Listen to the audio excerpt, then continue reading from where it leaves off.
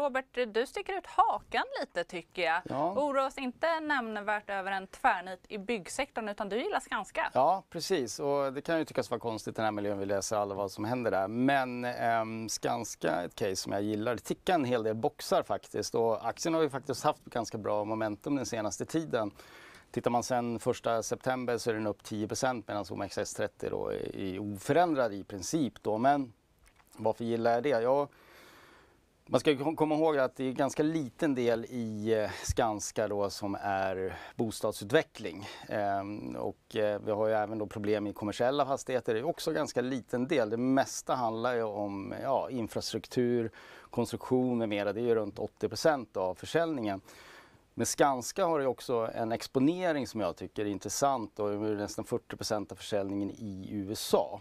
Ehm, och där vet vi att Bidenomics eh, pengar kommer komma ut i systemet och det sker nu. Det är väldigt många då eftersatta områden just när det gäller infrastrukturen då som eh, de här pengarna då kommer, kommer ju nå ut då i ekonomin till projekt och Skanska kommer kunna dra nytta av det då i sin, i sin eh, position.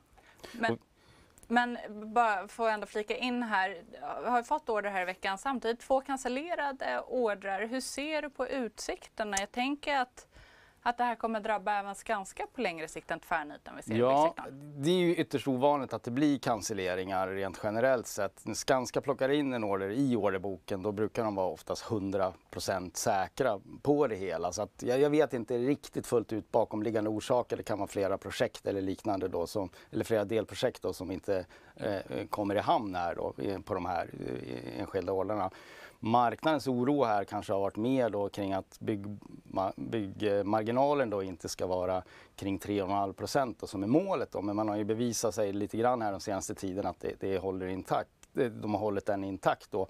Man ska komma ihåg att Skanska har ändrat sin strategi här. Man eh, räknar ju inte bort sig på samma sätt förhoppningsvis då på, på, sina projekt utan man har ju då satsat mer på lönsamhet än volym då kan man säga. Det är den nya strategin då. Om man tänker att marknaden är orolig för nedskrivningar, nu var det runt fem år sedan, sedan sist då. Så att eh, vi tycker att det är lite överdriven oro. Värderingen i Skanska också är ju ganska låg. Det är runt 11 gånger på nästa års vinst. Då. Snittet då senaste fem åren ligger kring 13,5 så att aktien är inte dyr på något sätt. Men något som är jätteviktigt i den här miljön vi befinner oss i, jag kan tänka att Skanska hamnar på sådana här screeningar också, det är att man sitter med nettokassa. Så man har ju en väldigt stark position rent generellt sett.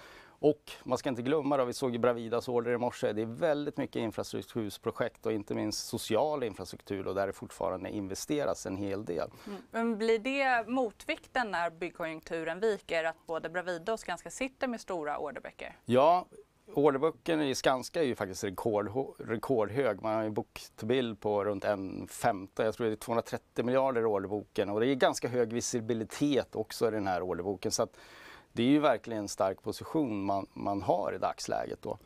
Eh, så det, det, det, det, finns saker att, att gilla med Skanska, helt klart. Då. jag menar, tittar man på sysselsättningsrapporten i fredags från USA, det adderades 8000 byggjobb.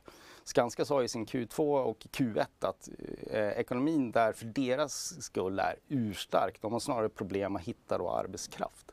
Mm. Men eh, USA går ju starkt, det vet vi.